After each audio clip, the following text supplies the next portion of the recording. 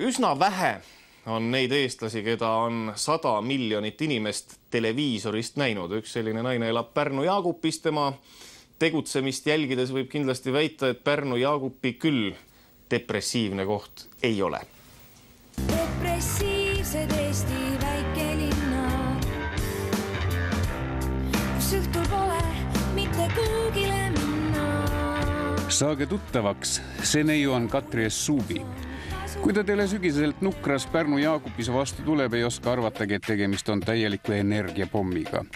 nimelt harrastab Katri ehk tupsu, nagu teda juba koolipõlvest saati kutsutakse, sensuaalset kõhutantsu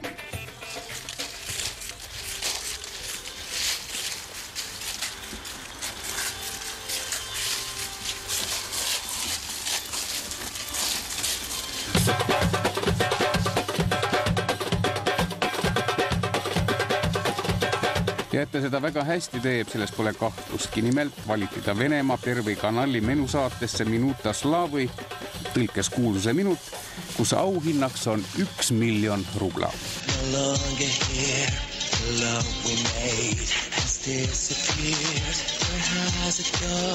ma ei teadnud, et niisugune saade on olemas, siis ma ei vaata telekat, ausalt, mul ei ole aega, mul on õhtuti trennid ja veel enam ma ei vaata Vene telekat. aga ma kuulan erinevaid raadiojaamu ja tänavu maikuus mul oli niisugune periood, kui ma kuulasin Vene raadiot, siis ma tulin lihtsalt koju viieks minutiks päeval ja kuulsin, et on olemas Riias mingisugune võimalus tantsida. ma ei, ma ei teadnud, et see on see saade ega midagi ja siis ma lihtsalt läksin. no niimoodi oligi selles mõttes, et, et ega, et ma ei, noh, ma ei teadnud, mis asi see on, et ma tegelikult ei teadnud paistaks, kuhu ma lähen. mis seltskond seal ees oli siis? vot see on nagu päris kole asi on ju selles mõttes, et et kui ma sinna Riiga kohale jõudsin, siis oli niimoodi, et et see hästi tõsised inimesed, saad aru, no noh, täiega noh, niisugused tõsised, kes harjutasid seal samme on ja nii edasi ja, ja mul oli too päev, mul oli üldse niisugune hästi kiire aeg elus, parajasti ma kolisin ühest kohast teise ja eelmisel õhtul sain natuke sooleiva pidu peetud. Ja siis mina seal oma soolaleiva peo jääknähtudega onju ja ülejäänud kõik õudselt harjutavad oma samme, kõik närveerivad onju, et see oli nagu noh, noh, väga nagu niisugune, see seltskond oli noh, väga tõsiste inimeste seltskond, ma ütleks, noh, tõsiselt väga tõsiste inimeste seltskond.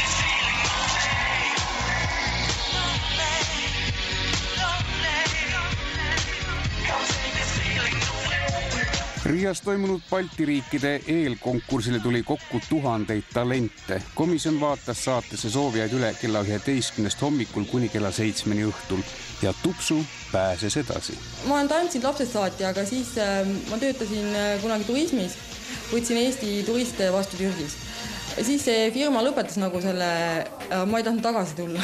no ja siis hakkasin tantsima seal nagu, hakkasin tantsima, siis pärast, kui ma Eestisse tagasi tulin, siis no see oli nagu üks variant on ju, mida tegema hakata.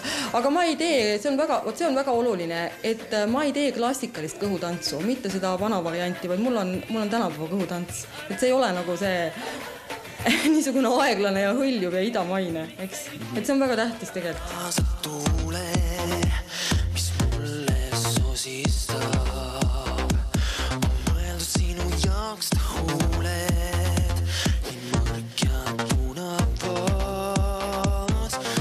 Sa sihukest samamoodi tantsisid ka sellel konkursil? no enamasti, enamasti lugu on mul seal teine, jah mis, mis žürii ütles?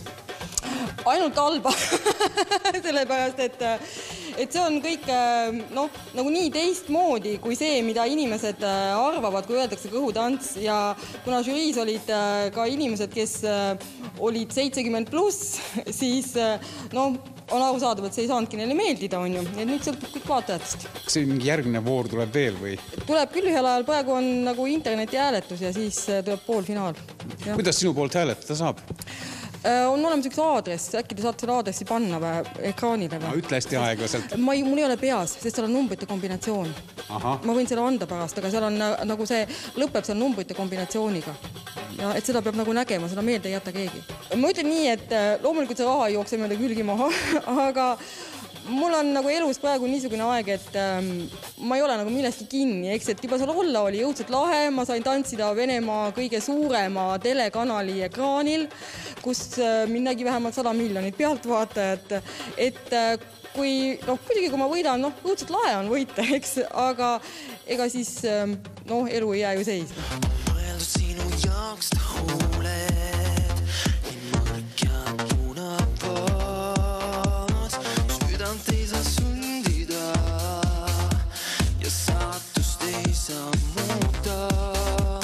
Kui Tupsu just miljonit rubla ei võida, pole midagi katki, sest Eestimaal on tal tööd küll ja kõhutantsu nautijaid on meil päris palju.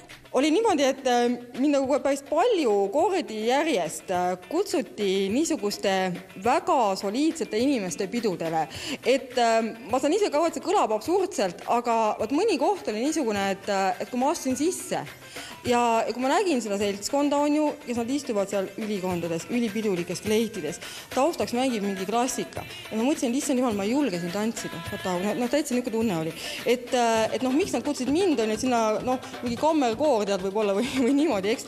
ja üks pidu oli niisugune, kus oli ühesõnaga mingisugune noh, tähtis inimene oli kutsunud külla tähtsa välismaa inimese ja see pidu oli niisugune, et, et, seal oli, laud oli kaetud lauahõbedaga ja olid, olid nimekaardid, igaühel menüü oli käsitsi kirjutatud, noh, täitsa niisugune lõppüritus onju. ja pärast on siis mina, noh, mina pidin seal tantsima onju.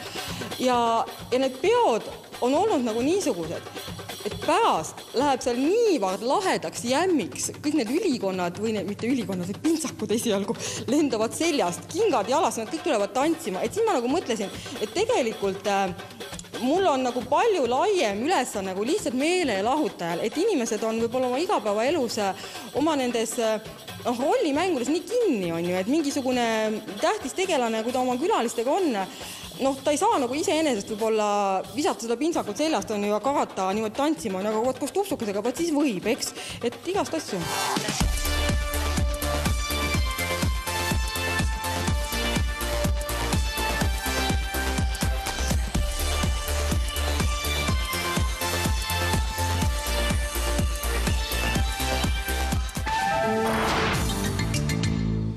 Olgu siis öeldud veel seda, et peaauhinnaks sellel konkursil on miljon rubla ehk umbes kolmsada viiskümmend tuhat krooni ja siis hääletage internetis kindlasti Katri Zuubi poolt ja õige pea saame teada, kas sellest oli ka abi, aga nüüd jätkame Eesti Loto uudistega